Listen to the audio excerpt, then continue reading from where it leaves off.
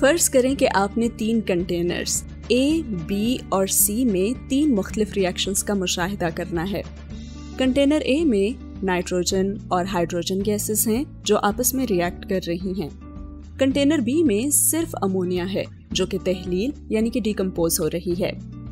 और container C में ये दोनों हैं, यानी कि नाइट्रोजन और हाइड्रोजन का मिक्सचर है, जो आपस में रिएक्ट कर रही हैं। और अमोनिया भी है, जो कि डिकम्पोज हो रही है तो इनमें से कौन सा रिएक्शन इक्विलिब्रियम को पहुंचेगा और इक्विलिब्रियम तक पहुँचने की ज़रूरी शराइत क्या हैं?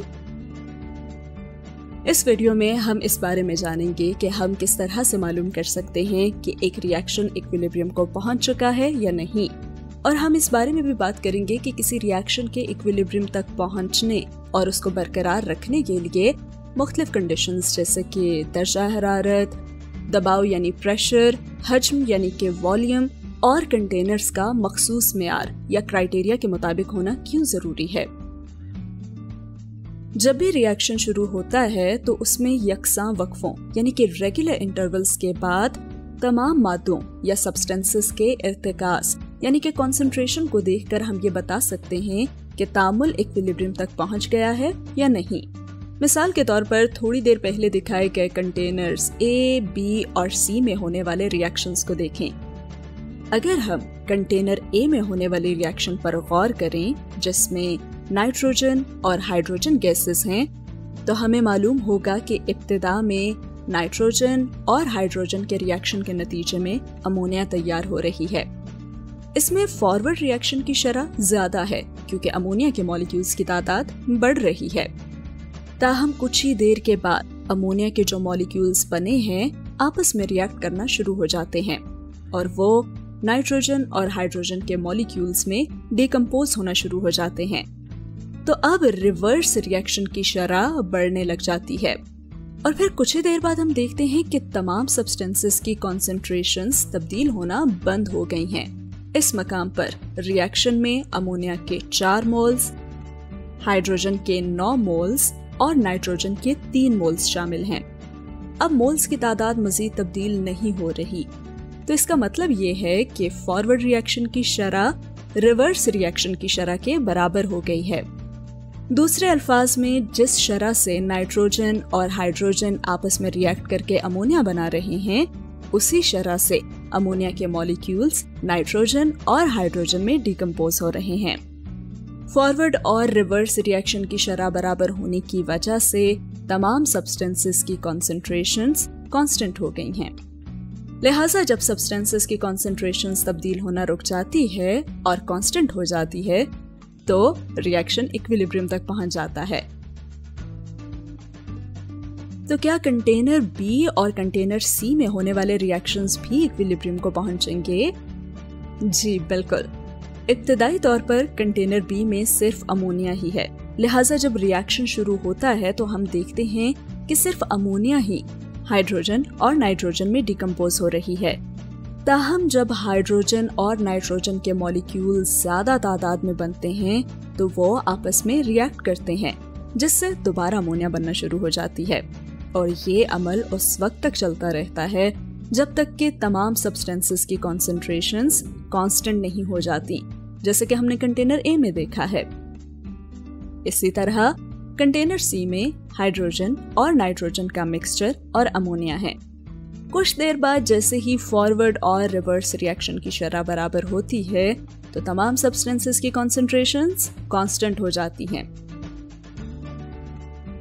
अगरचे ये तीनों ही रिएक्शंस एक जैसे रिवर्सिबल रिएक्शंस हैं इक्विलिब्रियम उस सूरत में भी हासिल हो सकता है अगर तामुल में सिर्फ़ रिएक्टेंट हो या सिर्फ़ प्रोडक्ट्स हों, या इन रिएक्टेंट्स और प्रोडक्ट्स दोनों का अमेजा हो।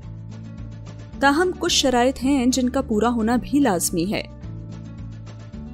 अगर हम किसी रिएक्शन के दौरान दर्जा हरारत को तब्दील कर दें तो क्या होता है? क्या रिएक्शन इक्विलिब्रियम पर तेज़ी से पहुंचेगा या आहिस्ता, या फिर बिल्कुल भी नहीं पहुंचेगा? तो इसका जवाब यह है कि ये रिएक्शन की नौयत पर मुनहसर है। कुछ रिएक्शंस जैसे कि अमोनिया बनाने के लिए हाइड्रोजन और नाइट्रोजन के रिएक्शन में बहुत ज़्यादा हरारत या हीट की ज़रूरत होती है। ताहम कुछ रिएक्शंस अज खुद होते हैं और रिएक्शन के नतीजे में हरारत खारिज करते हैं।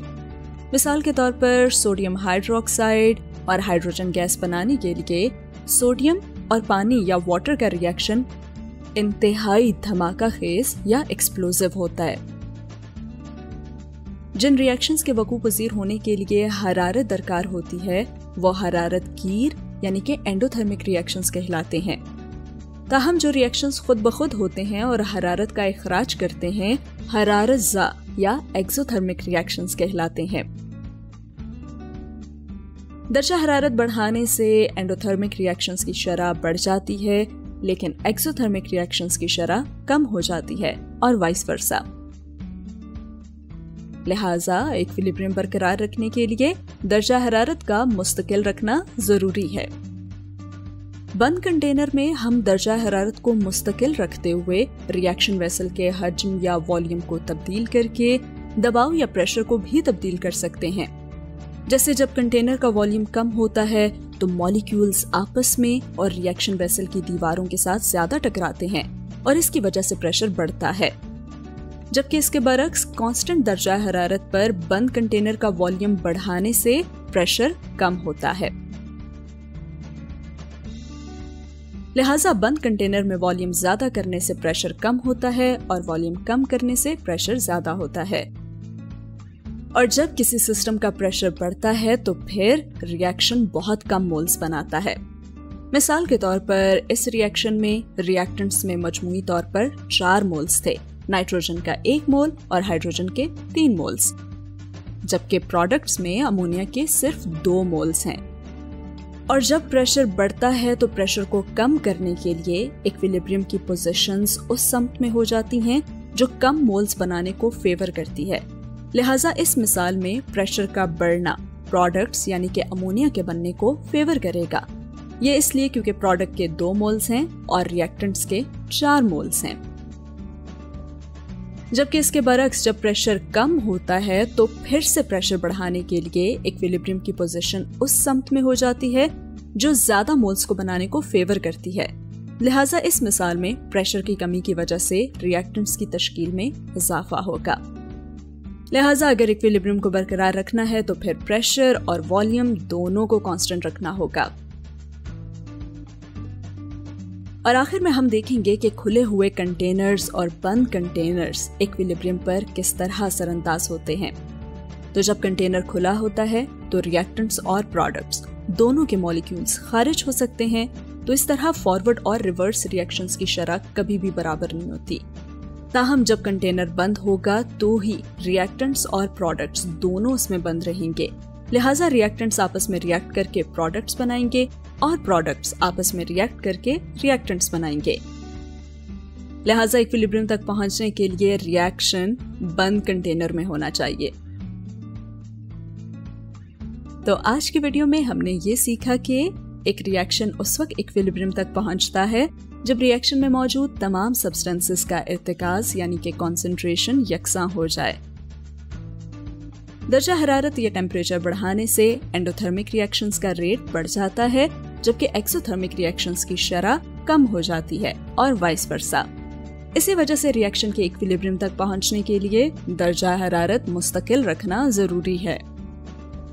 दबाव या प्रेशर बढ़ाने से इक्विलिब्रियम उस समत में मुड़ जाता है जो कम मोल्स बनाने को फेवर करती है, और वाइस वर्सा लिहाजा इक्विलिब्रियम बरकरार रखने के लिए प्रेशर और हजम यानी कि वॉल्यूम को कांस्टेंट रखना लाजमी है। और इक्विलिब्रियम सिर्फ़ तभी हासिल होता है जब रिएक्शन कांस्टेंट दर्जा हरारत और प्रेशर पर। किसी बंद कंटेनर या एक मुकर्रा वॉल्यूम के आइसोलेटेड सिस्टम में वकू पजीर हो।